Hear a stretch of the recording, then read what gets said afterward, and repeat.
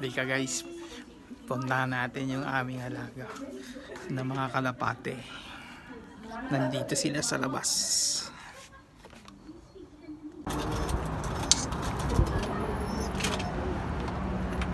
Bibigyan natin ng pagkain. Bigyan ko kayo ng pagkain, uy. Oo, gusto ko. Nakita kong nilagyan to eh. Nilagyan mo na. Ngayon ko, si Boss Jerry ba ang naglagay nun? Hindi na yan. Hindi ah. Pag, ano, kinakain nga ng tao to eh. Nakita ko nilagyan yan eh. Nilagyan ko rin. Hmm. Ano yan eh, buto-buto. Hmm. Yan na guys, yung aming ibon. Lumaki na. Dating sisiw. Ang itlog na naman yung ina. Hoy. Kang umalis.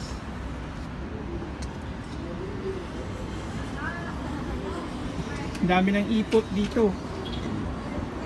Nagagalit na yung nanay oh. Pumasok yung anak.